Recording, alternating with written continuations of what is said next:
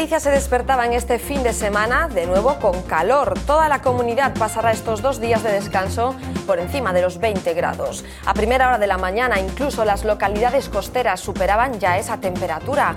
Mañana hará todavía más calor. ¿Qué tal? Buenas tardes. Aunque parezca mentira en los tiempos que corren, hoy tenemos que hablarles de una oferta laboral de lo más tentadora. Emirates Airlines busca en España 4.000 trabajadores. Las pruebas han llegado hoy a Santiago de Compostela. Me llamo Elena Domínguez y estoy estudiando traducción e interpretación. Yo me llamo Aurora, estudié turismo en Asturias, después hice un máster. He hecho turismo y estoy acabando mi máster. Y bueno, pues formando parte del paro. Son solo algunos de los candidatos que esta mañana han acudido a las pruebas de selección de personal. En total se ofertan 4.000 puestos de trabajo como asistentes de cabina para los 220 nuevos aviones de la compañía. Quienes superen el trámite tendrán como próximo destino Dubái, donde serán formados por la propia aerolínea. Las camelias del Castillo de Soutomayor ya son desde hoy Jardín de Excelencia Internacional.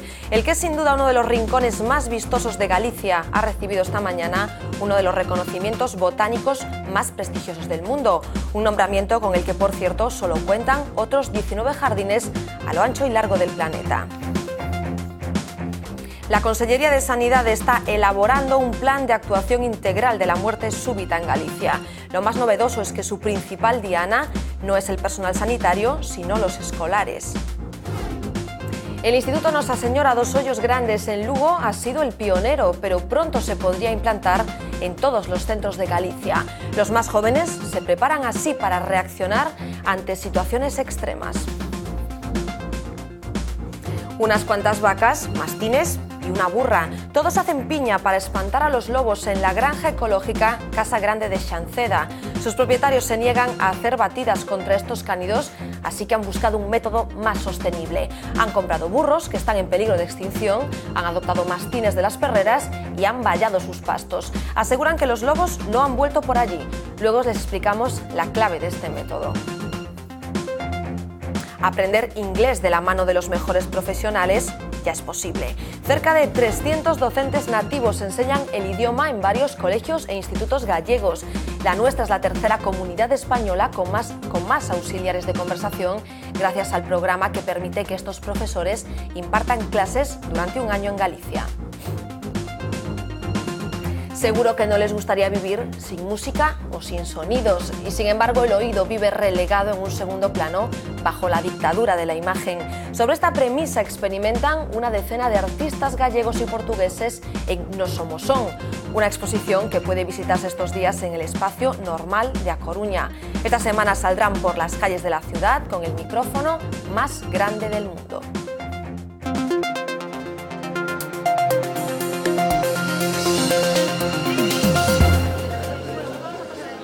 Son casi un centenar de candidatos que esta mañana se han presentado en Santiago de Compostela a la selección de personal que ha organizado la aerolínea asiática Emirates Airlines. La que es ya una de las mayores compañías aéreas del mundo, busca en nuestro país a más de 4.000 tripulantes de cabina. Las pruebas se han llevado a cabo en otras ciudades españolas como Madrid y Sevilla y hoy, como ven, le ha tocado el turno a la capital de Galicia, Santiago de Compostela unas pruebas en las que, entre otras cosas, están midiendo la estatura y el nivel de inglés de los participantes. Siguiendo esta selección de personal ha estado nuestra compañera Cristina Castro. Cristina, muy buenas tardes. Muchos candidatos y también muchos nervios, ¿no? ¿Qué tal? Muy buenas tardes. Pues efectivamente han sido casi un centenar las personas que se han acercado hoy hasta aquí, hasta este hostal de los Reyes Católicos, para intentar arañar uno de esos 4.000 puestos de trabajo que oferta en España la compañía Emirates Airlines. Una prueba que ha consistido pues un poquito en una presentación de lo que es la aerolínea, de lo que sería la vida en Dubai y sobre todo una pequeña entrevista de trabajo con cada uno de los candidatos. Unos candidatos a los que se les ha pedido, entre otras cosas, ser mayores de 21 años, tener un dominio más o menos fluido de la lengua inglesa, no contar con tatuajes en zonas visibles de su cuerpo y sobre todo medir más de dos metros, eso sí, con las manos elevadas hacia arriba.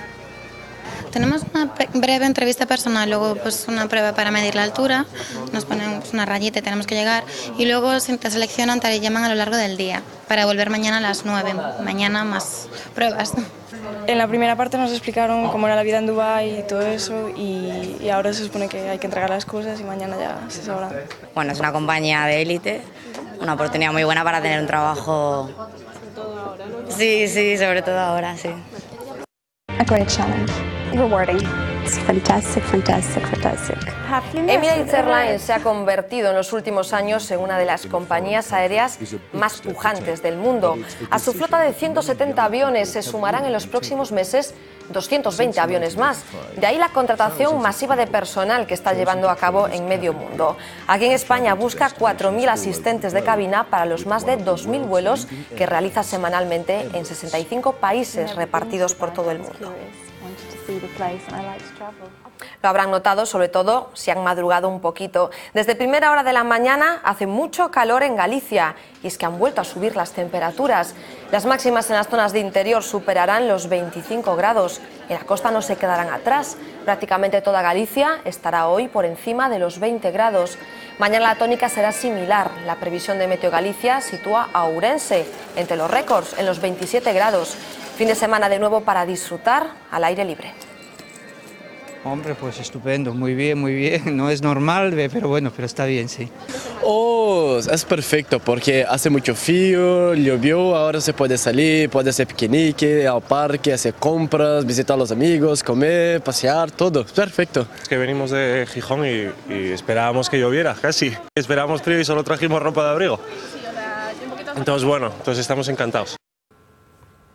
Este buen tiempo anima una vez más a disfrutar del fin de semana, pero también trae sus datos negativos. El suelo gallego ha perdido ya el 50% de su reserva de agua.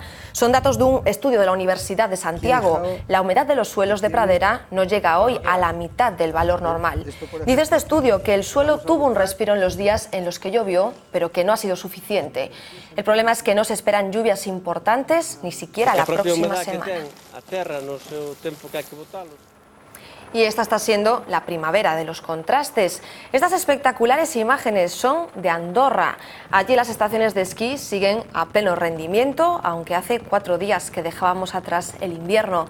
Andorra oferta estos días para los amantes del frío la posibilidad de seguir esquiando, pasear con trineo o incluso vivir en sus montañas como un esquimal. El Jardín del Castillo de Soutomayor ha recibido esta mañana su reconocimiento como Jardín de Excelencia Internacional. Este era el momento en el que de manera oficial se reconocía a los jardines del castillo como los primeros de España en recibir este reconocimiento, un galardón que solo tienen otros 28 jardines de todo el mundo. La Camelia ha sido la responsable de este título al contar con una colección de más de 420 ejemplares diferentes de camelia y de 25 especies que se convierten en un atractivo para los visitantes. De momento ya ha tenido su primera repercusión. Soutomayor acogerá en 2014 el certamen mundial de la camelia que este año se celebraba en China.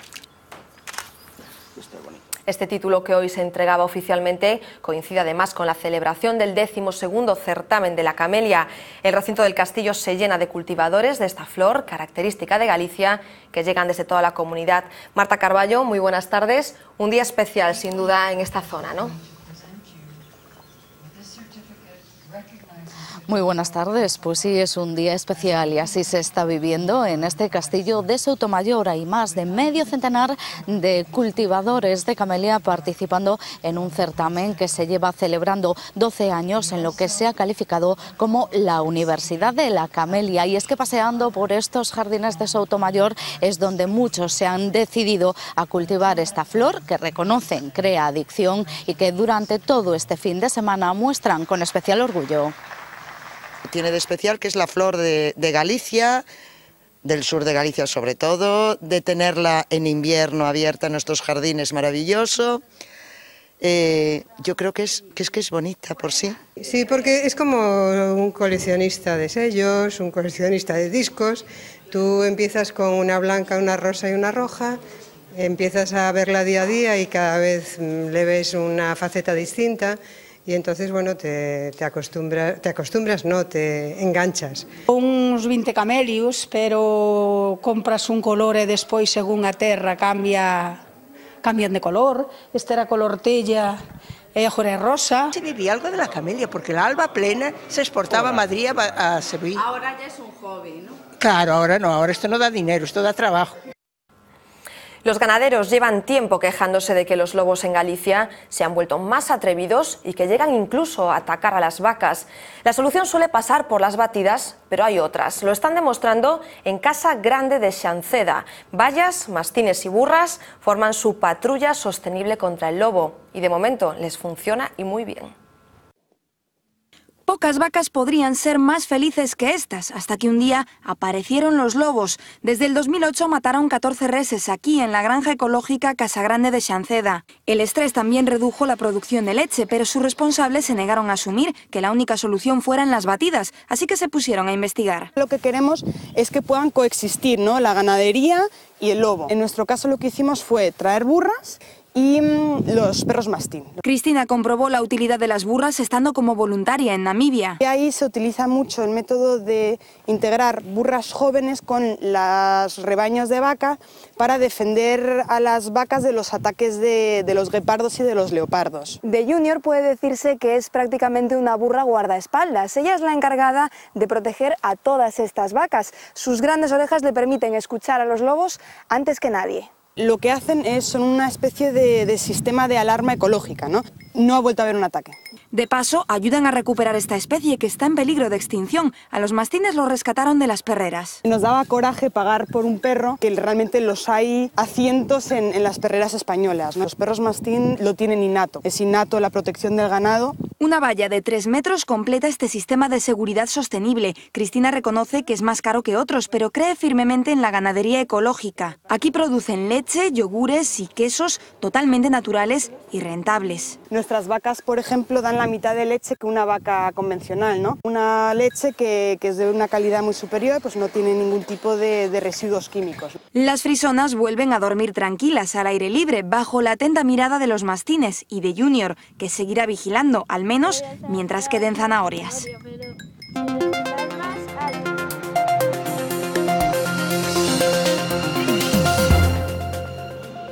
La Junta de Galicia planea gastar más de 350.000 euros en acondicionar uno de los edificios da Cidade da Cultura, el llamado Edificio de Servicios Centrais. Para ello, el gobierno gallego pretende comprar, entre otros elementos, 177 sillas de 333 euros cada una. La intención es inaugurar este nuevo edificio a principios de verano con muebles de diseño firmados por el propio Peter Eisenman. Las empresas que suministren estos productos deberán además fabricarlos respetando fielmente las prescripciones del famoso arquitecto.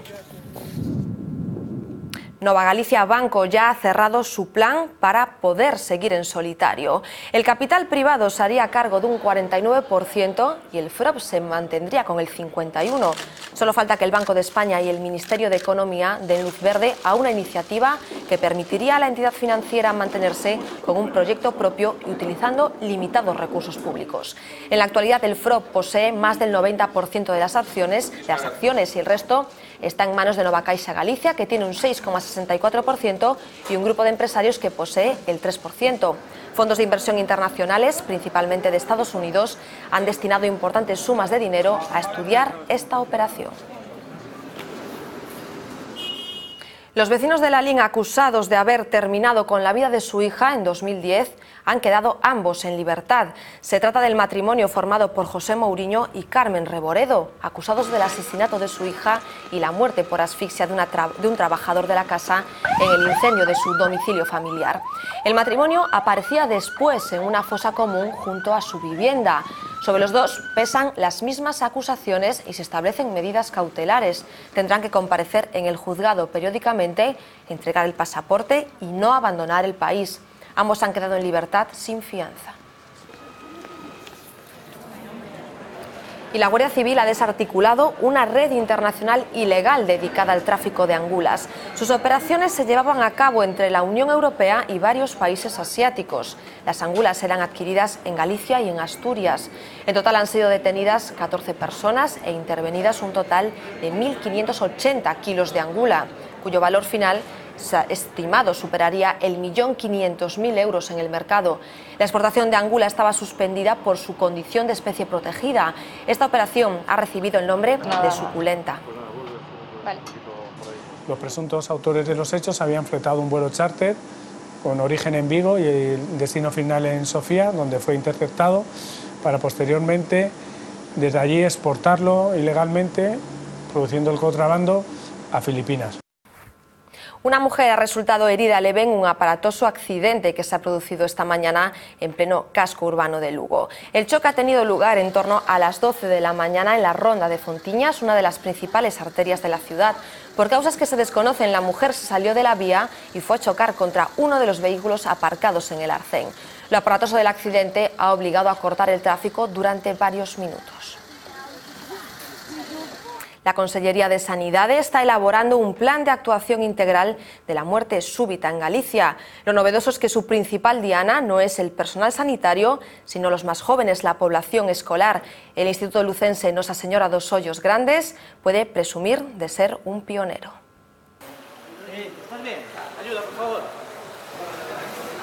Bueno, pide ayuda y coloca en posición de reanimación, abre vías y comprueba de nuevo la respiración. Parece una emergencia, pero afortunadamente no lo es. Precisamente para responder ante esos casos se creó el programa RCP en Aula. Surge como un contacto entre urgencias sanitarias y el instituto ante la necesidad de formar a los alumnos en, en reanimación cardiopulmonar. En el año 2007 hicimos una experiencia piloto y la hicimos en el Instituto Hoyos Grandes porque considerábamos que la formación a la población en general de reanimación cardiopulmonar era algo necesario. Cuando una persona se encuentra a otra en el suelo, inconsciente, que no sabe qué le pasa, pues el protocolo ya le activa una serie de pasos a seguir. No puede decidir porque no diagnostica a una persona que no es profesional, pero si conoce el protocolo y lo ha trabajado, pues entonces primero preguntará cómo está, comprobará conciencia, bueno, una serie de elementos que le pueden llevar a actuar en los casos que sea conveniente. Paradas se pueden producir por traumatismo, se pueden producir por sobredosis de drogas, se pueden producir por alguna enfermedad que tenga el propio la, la persona, sobredosis de alcohol, por ejemplo. En Galicia se atienden anualmente 800 paradas cardiorrespiratorias de forma extrahospitalaria. En ellas los cinco primeros minutos son fundamentales. A partir del décimo minuto es muy difícil que esa persona salga de esa parada o si sale puede tener unas secuelas muy graves. Por eso es fundamental que la población general sepa realizar estas maniobras porque el servicio de emergencia siempre va a tardar algo más en, en, llegar. El plan, que ya se ha extendido a más de 30 centros de secundaria gallegos, cuenta también con una gran aceptación social. Creo que es primordial, ¿eh? porque ya ves lo que está pasando habitualmente, tanto en un campo de fútbol como en cualquier lado. Me parece bien, es una buena idea. Me parece muy bien. Una urgencia la puede, puede surgir en cualquier momento. Lo tenían que hacer en muchos más sitios, casi tenía que ser una obligación hacerlo. Bruselas coloca bajo estricta vigilancia a la economía española. Una misión de la Comisión Europea supervisará en Madrid los ajustes que se le piden a nuestro país. Un nuevo grupo de expertos llegará la próxima semana a la capital para analizar las cuentas de todas las administraciones y el estado de salud de la economía española tras el notable incumplimiento de déficit en el año 2011. En el punto de mira estará también la meta de 2012 fijada en el 5,8% del Producto Interior Bruto. Los socios europeos de España examinarán cada uno de los próximos pasos del Gobierno en las reuniones del Eurogrupo, el ECOFIN y en las cumbres de jefes de Estado. Y curioso el dato económico, la compañía Apple valdrá más que España en tres años. Ahora mismo una acción cuesta 600 dólares y su valor se puede casi triplicar y superar al PIB español en los próximos tres años. Apple es la mayor, es ya la mayor empresa en Wall Street. Vale más de 560 mil millones de dólares, unos 427 mil millones de euros. La compañía asegura haber vendido 3 millones de unidades del nuevo iPad en los primeros tres días de su lanzamiento. Fomento y sindicatos llegaban de madrugada a un acuerdo para pactar los servicios mínimos de cara a la huelga general del próximo jueves. Los servicios mínimos del transporte a nivel nacional son prácticamente iguales a los fijados para la huelga general de septiembre de 2010. Eso sí, se han introducido algunas novedades, como un incremento del 25% de los servicios de trenes de cercanías en hora punta. Este era el principal escollo, ya que Fomento pedía unos servicios mínimos de un 40%. La reunión se prolongaba durante 10 horas, terminaba la pasada madrugada en torno a las dos y media. La Policía Nacional ha detenido a dos proxenetas que tatuaban códigos de barras a las mujeres. De esta forma que ven, les tatuaban las muñecas si intentaban escapar como reflejo de la deuda contraída con la banda. Los detenidos son de nacionalidad rumana, obligaban a las mujeres a prostituirse y a entregarles después gran parte del dinero obtenido. Sucedía en Madrid. Este grupo captaba, transportaba y explotaba a mujeres, algunas de ellas menores de edad, en la calle Montera de la capital y en diversos clubes de la comunidad.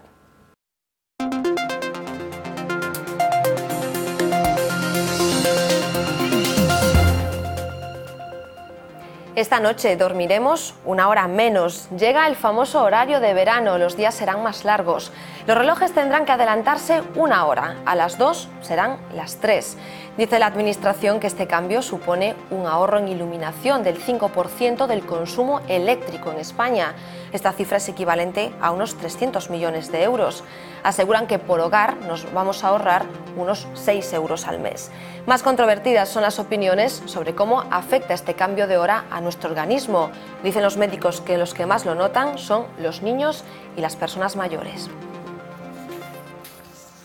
el inglés sigue siendo una de las grandes asignaturas pendientes y para remediarlo varios colegios e institutos gallegos cuentan ya con decenas de profesores nativos que hacen que el idioma sea cada vez más fácil para los estudiantes. Hola, mi nombre es Shaniqua Mitchell Rice, yo soy estadounidense, ah, soy de Texas y estoy aquí en España trabajando con un programa que se llama Profesores Visitantes Americanos.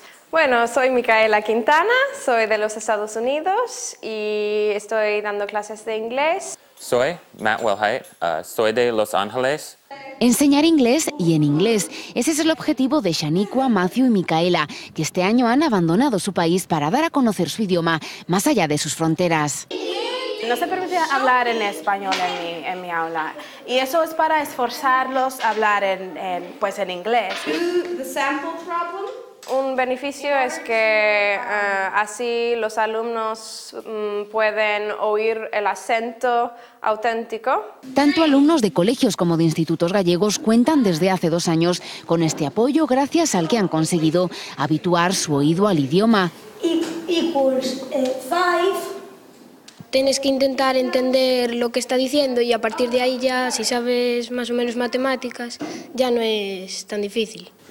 Aquí um, los estudiantes tienen un poco miedo uh, con conversación.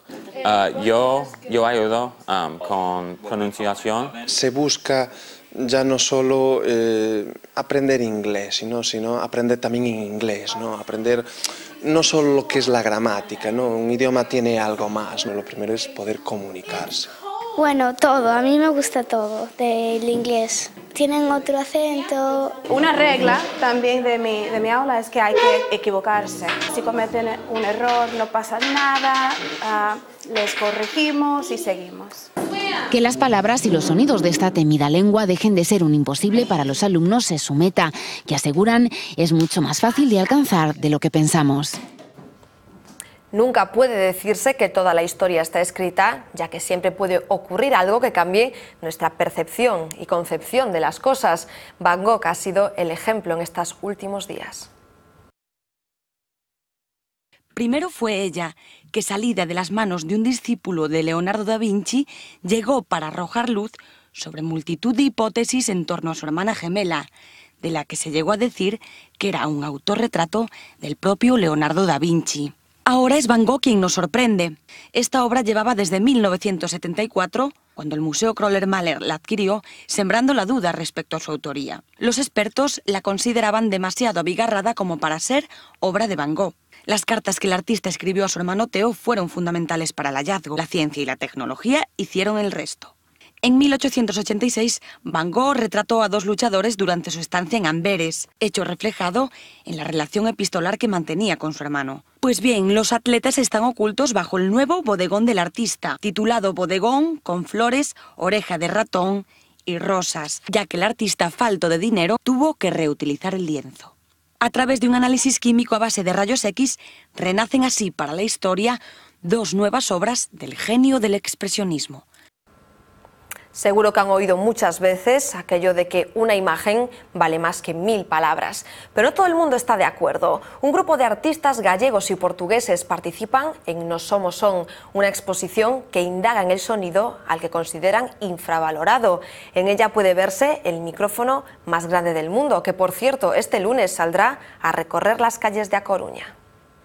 Dicía Friedrich Nietzsche que a vida sen música sería un erro e, sen embargo, a súa esencia, o son, vive relegada a un segundo plano. Nese debate entre imaxe e son, eh, esta exposición opta polo son decididamente. A algo que podíamos definir como esculturas sonoras. Os seus compositores son artistas galegos e portugueses, referentes internacionais de arte sonora, como Chiu Longina, un antropólogo ourensano volcado no sentido esquecido. Aquelo que entra por oído che toca directamente, esa se queda en ti. Trátase de vivir novas experiencias acústicas. Ti non bailas o son deste tocadiscos, el soa ao ritmo do teu baile. No acófono podes escoitar a pureza dunha gota de auga ao caer ou deixa registrado o recordo do son que máis te marcou. A interactuación co INTE é parte fundamental desta exposición, por iso non se queda aquí, senón que sairá á rúa con este macrófono, o micrófono máis grande do mundo, para recoller os sons que habitan a cidade. Forma parte do proxecto de Longina que xa puxo en marcha a través de escoitar.org, unha plataforma que calquera pode subir un son e ubicalo na xeografía galega. Con ela dá resposta a outra das súas inquedanzas, por que guardamos tantas imaxes e non registros sonoros históricos. Como sonaba, por exemplo, o mercado, por exemplo, nos anos 50, o acento que tiñan as súas preocupacións, as conversacións, como cantaban. Os próximos meses veñen cargados de actividades complementarias, espazos de debate nos que as palabras palabras volvan valer máis que calquera imaxe. Hai que dar un paso, non sabemos cual é, pero o primeiro que hai que dar é facerse máis humano.